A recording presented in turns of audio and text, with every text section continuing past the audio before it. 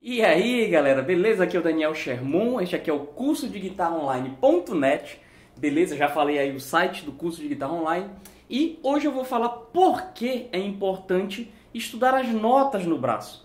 É interessante como tem muita gente que não dá importância para as notas.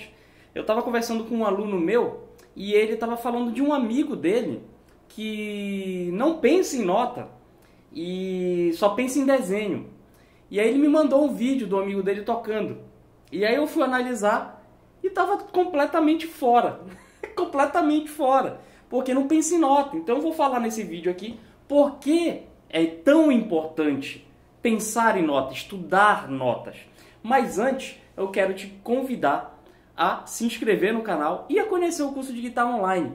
E para falar sobre o curso de guitarra online, eu vou pedir para o meu aluno um aluno que é muito especial para mim, que é o meu primeiro aluno fora do Brasil, que é o, aliás, não brasileiro, na verdade, que é o Bruno lá de Portugal. Então, Fala aí, Bruno, o que que tu achas sobre o curso de guitarra online? Olá a todos, eu sou o Bruno Varela, de Portugal, e eu estou a fazer o curso de guitarra online com o Daniel. É um curso muito bom e aquilo que eu mais, mais estou a gostar é, sem dúvida, o apoio do Daniel, porque uh, está sempre disponível para esclarecer dúvidas e para nos ajudar no que, no que for preciso. Uh, o grupo também é algo muito bom, podemos comunicar com os outros que também estão dentro do curso e estou a adorar, muito bom. Muito, muito, muito obrigado, Bruno Bruno, é uma honra te ter aqui, o Bruno que é de Portugal, e obrigado por indicar o curso para a galera.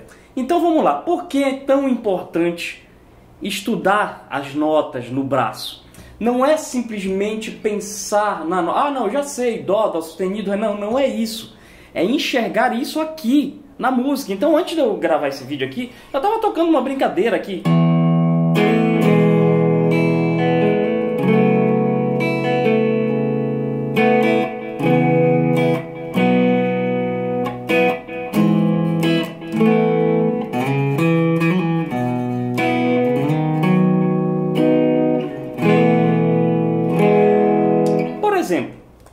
Aqui eu segui, obviamente, a questão da escala de Mi maior, o campo harmônico de Mi maior e algumas tensões disponíveis aí em questões de intervalos que eu encontro dentro da própria escala de Mi. Agora, como é que eu faço para, por exemplo, pensar nesse acorde aqui? É um Fá sustenido menor com décima primeira, né?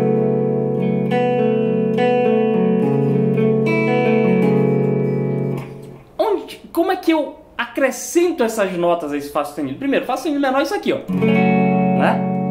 Mas aí quando eu penso nas notas da escala de Mi, as notas da escala de Mi são Mi, Fá sustenido, Sol sustenido, Lá, Si, Dó sustenido, Ré sustenido e Mi. Aí eu pego, tenho Fá sustenido menor.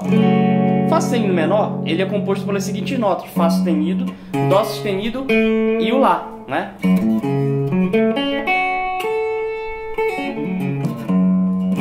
Então estou aqui as notas. Mas eu posso, por que não, colocar um Si. Mas esse Si, ó, eu tenho a corda solta Si aqui, ó.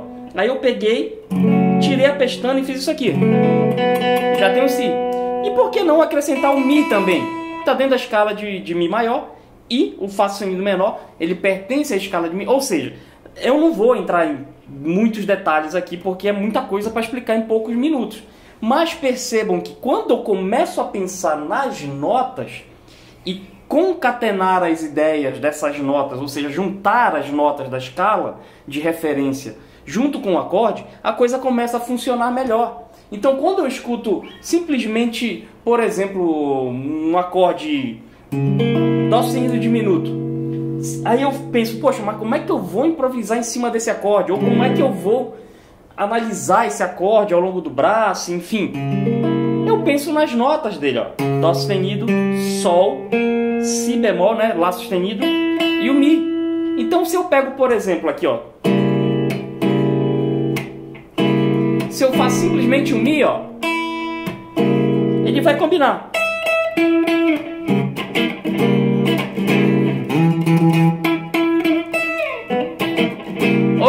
Junto com Lá sustenido, Mi o Lá sustenido.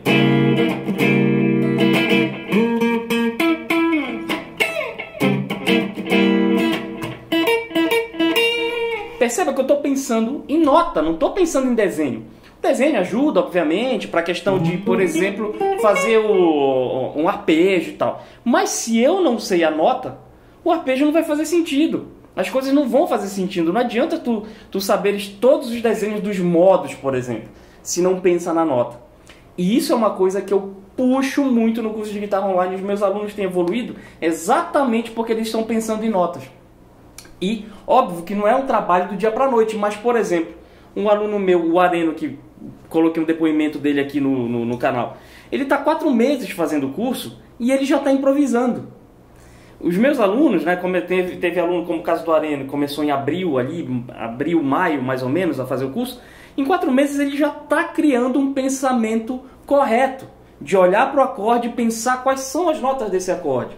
E é esse o grande segredinho para improvisar bem. Então é isso aí, gente. Muito obrigado pela audiência. Espero que tenham gostado do vídeo. Dê o joinha se gostaram. Assina aqui o canal, tá legal? Se inscreve no canal e ativa o sininho de notificações também. E aqui na descrição, se tu quiseres fazer parte do grupo do WhatsApp do canal, é só clicar no link lá do grupo do WhatsApp no canal que vai valer muito a pena porque ali eu posso falar contigo de uma forma mais direta. Beleza, gente? Então é isso aí, um abraço e até o próximo vídeo.